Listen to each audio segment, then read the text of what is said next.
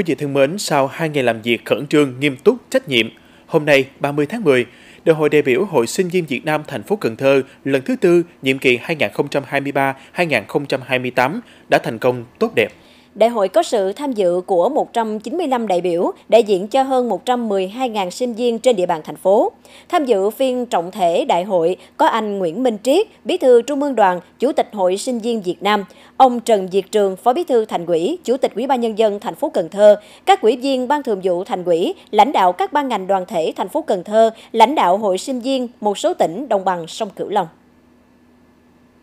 Nhiệm kỳ 2018-2023 Hoạt động và công tác hội sinh viên thành phố Cần Thơ nhận được sự đồng hành hỗ trợ của các cấp quỹ đảng chính quyền nhà trường đã đạt được những kết quả đáng phấn khởi. Trong nhiệm kỳ có 2.405 tập thể và 8.153 sinh viên đạt danh hiệu sinh viên năm tốt các cấp.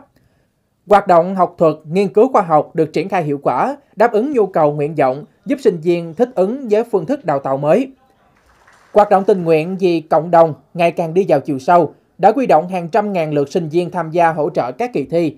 triển khai các hoạt động xây dựng nông thôn mới nâng cao, đô thị văn minh, bảo vệ môi trường, ứng phó với biến đổi khí hậu, tham gia đảm bảo an sinh xã hội. Với khẩu hiệu hành động sinh viên Cần Thơ, bản lĩnh, sáng tạo, hội nhập, phát triển, Đại hội đặt ra mục tiêu triển khai giới thiệu việc làm cho ít nhất 10.000 sinh viên, thực hiện ít nhất một công trình tình nguyện tại các vùng biên giới hải đảo, phân đấu đạt 100.000 lượt sinh viên tham gia các hoạt động tình nguyện, vận động xã hội hóa 10 tỷ đồng trao học bổng và giải thưởng cho sinh viên.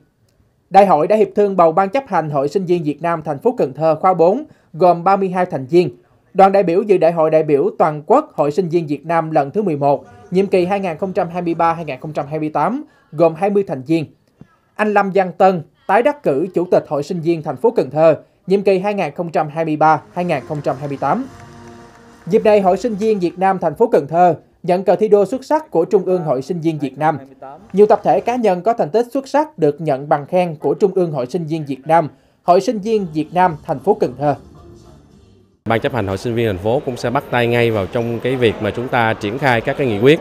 Điều đó thì chúng ta thể hiện rằng thông qua các cái chương trình hành động của Ban chấp hành Hội sinh viên thành phố khóa 4, trước tiên thì cũng sẽ tổ chức các hoạt động sân khấu hóa các cái cuộc hội thi, đặc biệt là trên các cái mạng online sẽ cho các bộ các bạn các bộ hội sinh viên sẽ tìm hiểu về nghị quyết Đại hội Hội sinh viên thành phố. Và trong ngày mai cũng sẽ có cái chương trình văn nghệ mừng thành công của đại hội và trong đó thì chúng ta cũng sẽ triển khai nhiều cái chương trình thêm cho hội sinh viên thành phố à, đảm bảo cho các chi hội các bạn sinh viên cũng sẽ thẩm thấu cái nghị quyết mà chúng ta thông qua trong ngày hôm nay.